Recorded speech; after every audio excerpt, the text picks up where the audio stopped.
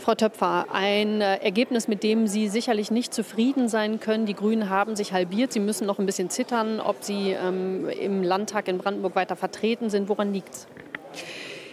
Wir sind erstmal froh, dass wir jetzt äh, bei der ersten äh, Prognose 5 Prozent ähm, erreicht haben. Ähm, ein großer Stein vom Herzen gefallen.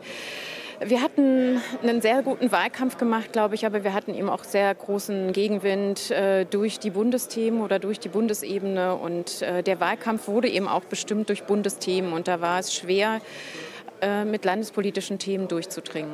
Das heißt, Sie haben versucht, landespolitische Themen zu machen. Die Bürger wollten über Bundesthemen reden und da stehen die Grünen so schlecht da, dass das nicht funktioniert hat? Nee, mit den, also im Gespräch mit den Bürgern ähm, haben wir eigentlich schon Landesthemen gesetzt und auch diskutiert. Und die Gespräche selber waren auch ganz gut. Nur dass die, die gesellschaftliche Debatte, ähm, was dann eben auch ähm, dargestellt wird, die gehen schon in erster Linie über Asyl und ähm, ja, Themen, die wir nicht in Brandenburg lösen können.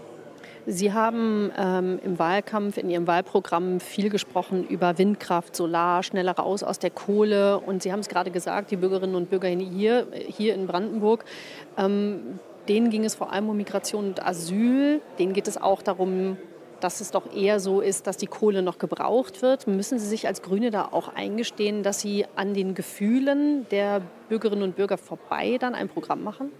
Wir nehmen die Gefühle der Bürgerinnen schon ernst, also auch das Bedürfnis nach Sicherheit, nach innerer Sicherheit.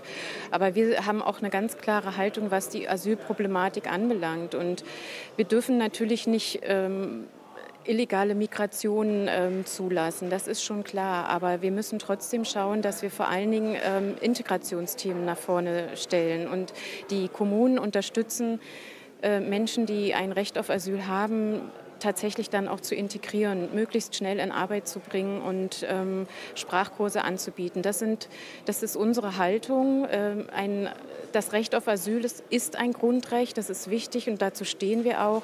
Aber wir müssen eben die Kommunen unterstützen, diese Integrationsleistungen äh, zu, hinzubekommen.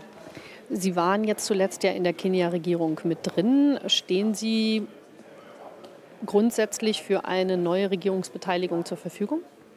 Ja, wir haben das im, im Wahlkampf auch schon so gesagt. Wir ähm, für uns ist es wichtig, eine stabile demokratische Regierung äh, zu bilden und dafür stehen wir natürlich als Demokratinnen und Demokraten bereit und ähm, dazu stehen wir natürlich auch zur Verfügung.